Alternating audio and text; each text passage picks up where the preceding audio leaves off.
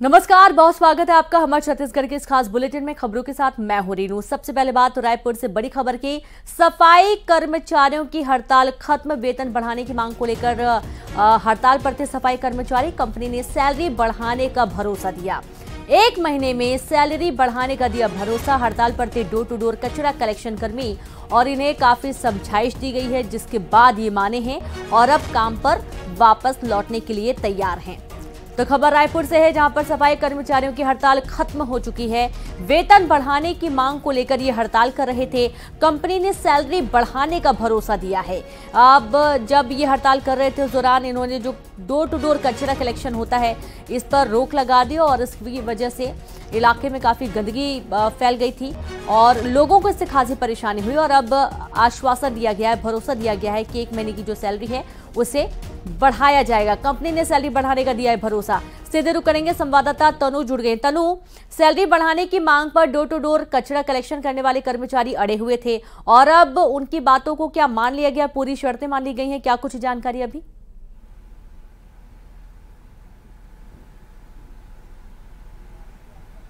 जी, बिल्कुल, देखिए, मंगलवार से आज सुबह लगभग 12 बजे तक जो है सफ़ाई कर्मी हड़ताल पर रहे हैं और उसके बाद बीते दिनों जो है महापौर एजाज ढेबर ने उनकी मांगों को लेकर सफ़ाई कर्मियों से मुलाकात की थी। हालाँकि महापौर एजाज ढेबर से मुलाकात के बाद भी सफ़ाई कर्मी अपने हड़ताल पर डटे रहे और उनकी उस उस वक्त मांग थी कि जब तक उनको लिखित में आदेश जो है वो नहीं आएगा कि उनकी सैलरी बढ़ाई जाएगी, साथ ही उनकी सुरक्षा को लेकर कुछ कदम उठाए जाएँगे, तब तक वो हड़ताल पर डटे ही रहेंगे। इसके बाद आज जोन कमिश्नर ने हड़ताल कर रहे सफ़ाई कर्मियों से मुलाकात की है उसके बाद उनको सैलरी बढ़ाने को लेकर आश्वासन दिया गया है साथ ही सुरक्षा को लेकर भी जो है बात हुई है। हालाँकि इस जो कर, सफ़ाई कर्मी हड़ताल कर रहे थे वो रामजी ठेका कंपनी के जो है वो सफ़ाई कर्मी है कंपनी की तरफ़ से उनकी मांगों को लेकर आश्वासन दिया गया है भरोसा जताया गया है और अब फ़िलहाल अभी एक महीने का समय जो है कंपनी के द्वारा मांगा गया है और एक महीने के बाद उनकी मांगों को पूरा करने की बात कंपनी के द्वारा कही गई है और ऐसे में सफ़ाई कर्मी भी अपने हड़ताल से जो है वो हट चुके हैं और अब डोर टू डोर घर पे कचरा कलेक्शन का कार्य भी जो है उनका वो शुरू हो चुका है। तो इन तमाम मांगों को लेकर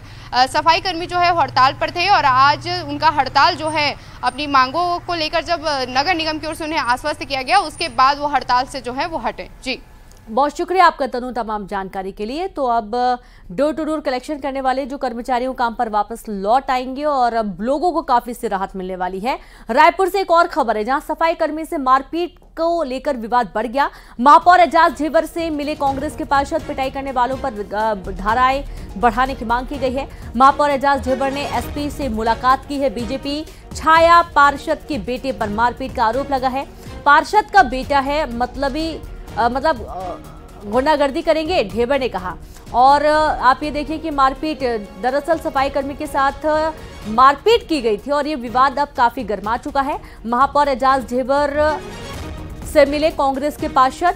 पिटाई करने वालों पर धाराएँ बढ़ाने की मांग की गई है। महापौर एजाज ढेबर ने एसपी से मुलाकात की है। बीजेपी की छाया पार्षद के बेटे पर यह मारपीट का आरोप लगा है। कल की घटना जो सफ़ाई, हमारा जो मित्र है, उसको कल मारपीट की गई। भारतीय जनता पार्टी के छाया पार्षद के द्वारा वो वहाँ पर चुनाव लड़ चुके हैं। उनके पुत्र के द्वारा वहाँ मारपीट की गई। जिस तरीके से उसको मारा गया तो कल हमारा कार्य पूरे तरीके से बाधा रही। कल कहीं पर भी, पूरे शहर में कल कचरा नहीं उठा और आज भी आधे शहर में कहीं पर भी कचरा नहीं उठा है। तो कर्मचारी हड़ताल पे चले गए थे। कल मैं उनसे जाके बात बात करके, कल मैंने कम से कम आधे शहर में मैंने काम चालू कराया। मगर क्योंकि वो भारतीय जनता पार्टी का छाया पार्षद का बेटा है और उस तरीके से अगर वो गुंडागिर्दी करेगा और अब नारायणपुर से खबर जहाँ सुरक्षा बलों नक्सलियों में मुठभेड़ हुई है, मुठभेड़ में नक्सलियों के मारे जाने की खबर मिल रही है। नक्सलियों के मारे जाने की आधिकारिक पुष्टि फ़िलहाल अभी नहीं हो पाई है। दंतेवाड़ा, बीजापुर के सीमावर्ती क्षेत्र में मुठभेड़ हुई सर्चिंग के दौरान रुक रुक कर फायरिंग लगातार की जा रही है। बस्तर फाइटर्स और एसटीएफ की संयुक्त कार्रवाई के दौरान ये मुठभेड़ हुई है। खबर नारायणपुर से आपको दे रहे हैं, जहाँ पर सुरक्षा बलों नक्सलियों में मुठभेड़ हुई। मुठभेड़ में नक्सली के मारे जाने की खबर है। नक्सली के मारे जाने की आधिकारिक पुष्टि फ़िलहाल नहीं हो पाई है। दंतेवाड़ा, बीजापुर के सीमावर्ती क्षेत्र में मुठभेड़ हुई है। संवाददाता खेम नारायण जुड़ गए खेम नारायण, मुठभेड़ हो रही थी, अभी क्या कुछ ताज़ा अपडेट? जी जी जो जानकारी नारायणपुर से निकल कर आई थी कि आज सुबह जो है डीआरजी बस्तर फाइटर और एसटीएफ के जो जवान हैं, नक्सल विरोधी अभियान को लेकर जो है ओरछा थाना क्षेत्र के रेंगावाही के जंगल की ओर निकले थे। वहाँ पर जो है नक्सलियों से उनकी मुठभेड़ हो गई और मुठभेड़ के दौरान जब सर्चिंग पार्टी के जवानों ने जवाबी फायरिंग की तो वहाँ पर एक नक्सली के मारे जाने की जो खबर है, वो निकलकर सामने आई है और अभी उसकी आधिकारिक पुष्टि नहीं हो पाई है। हो सकता है कि नक्सलियों के मारे जाने की संख्या बढ़ भी सकती है। लेकिन इसकी अभी कोई आधिकारिक पुष्टि नहीं हो पाई है जब तक जो है जंगल में जब मुठभेड़ समाप्त हो जाएगा, क्योंकि अधिकारियों के जानकारी के हिसाब से वहाँ पर रुक रुक कर जो है फायरिंग दोनों तरफ़ से जारी है और मुठभेड़ जो है समाप्त होने के बाद जब सर्चिंग पार्टी जो है वहाँ पर घटना स्थल में सर्चिंग करेगी, उसके बाद जो है स्पष्ट जानकारियाँ निकलकर सामने आएँगी। जी। बिल्कुल, बहुत शुक्रिया आपका जानकारी के लिए खेम नारायण। और अब आगे बढ़ेंगे, बात करेंगे रायपुर से ही अहम खबर की, जहाँ पर नक्सल समस्या पर बोले विजय शर्मा।